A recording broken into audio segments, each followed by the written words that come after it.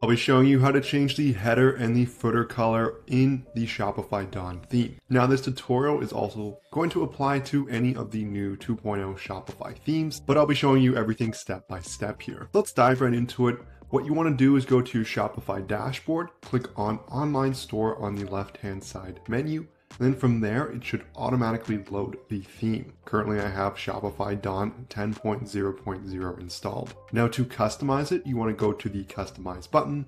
It should be a green button here. You want to click on that and this is going to load our theme customization. Now at the top we have our header and if we scroll down here we have our footer. And so we're looking to edit the color scheme of these two and the way you're going to do that is by editing the color scheme itself. So if I click on the header section and I go to the right hand side and I scroll down a little bit and I can see the color scheme listed. If I click change, I can see six different color schemes that are built for this theme and whichever one I select, it's going to be the color of the header here. And I can do the same thing by scrolling to the bottom. And if I click on the footer, I can find the color scheme on top and I can go to change and I can select scheme 4 as well. So that's how you change the color scheme. In terms of actually editing the specific colors, you want to go to the left hand side go down to theme settings, open up colors, and from there we can see our color schemes. We can choose from any of the existing presets to edit. I'm just going to edit scheme 4 as this is the one I've selected for my header and my footer. And so for these color schemes, it's basically going to make it easy to reuse the same set of colors throughout your website.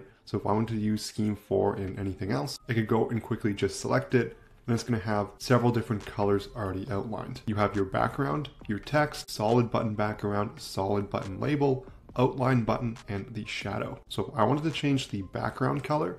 I can select it, I can drag around my little circle here and select different colors. I can see the preview here, I can change the hue, and it's gonna give me this hex code at the bottom. Let's say I wanna make it some bright blue here. I can see it's already been reflected in both the header and the footer. Let's go for a bluish black at the bottom, and I can see it's been updated. Now you can do this for each one of them here, picking the exact colors you want for your header and your footer. And just like that, you should have updated the color and the footer for your Shopify Dawn theme. Before I go, I want to say that if you've made any sales on Shopify, you know how hard it is to keep track of your profit. That's where our sponsor of today's video comes in as the one-click profit calculator for your Shopify store. All you have to do is select the date range you're looking for to get real-time calculations to see how profitable your store actually is. And you're going to get a ton of different details, metrics, and analytics so you can make smarter business decisions. You can find it in the Shopify App Store by searching Profit Calc and looking for this logo in the top left. There's also a link in the description below, and from there you can get a 15 day free trial so you can test drive everything for yourself. So thank you so much for watching. I would love it so much if you smash that like and subscribe button below as that helps the channel out, but I'll see you in our next video.